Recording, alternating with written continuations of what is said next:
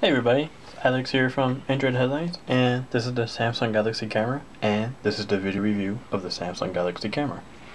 On the front, you got your 16.3 megapixel cam camera lens, along with its 21 times optical zoom. Um, on the top, you got your flash, your power button, then you've got your volume rocker along with your zoom and shutter key all in one. You've got your headphone jack and your USB port for charging your camera. And right here inside this little compartment you've got your battery your micro SD card slot uh, HDMI and your 4G SIM card from for Verizon since this is the Verizon model. Then you got your tripod port and on the other side you've got a small speaker along with the button for the flash. And the back you've got your 4.8 inch 720p display. Um, it is running Android 4.1.2 along with TouchWiz, the nature UX that they started rolling out with the Galaxy S3 and Galaxy Note 2 earlier in 2012. You've got access to the full Play Store so you can install pretty much everything that's in the Play Store. It comes pre-installed with a few apps that are useful like Dropbox, Instagram, YouTube, um, Paper Artist. There are a few other ones. Uh, once you go into the camera app, it probably looks pretty familiar. It looks a lot like the the well, it kind of looks like the camera app from TouchWiz, but there's a few more enhancements.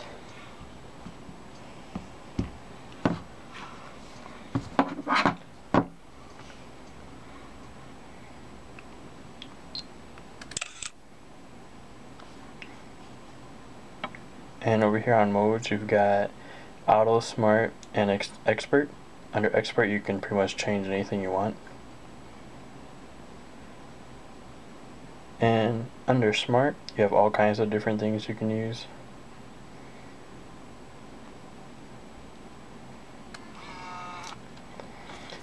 It's it's a pretty good camera. Of course, it's going to be better than the camera on your smartphone since it is a $500 camera and it's also 16 megapixels, also on 8.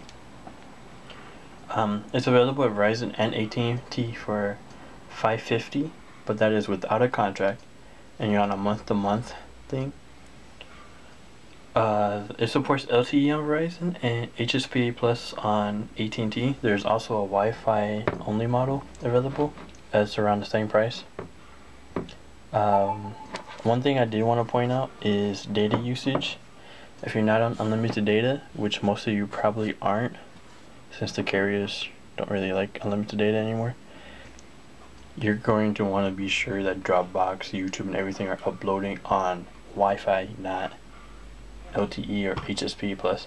Because as you can see in here, I've used almost 14 gigs of data in about two and a half, three weeks.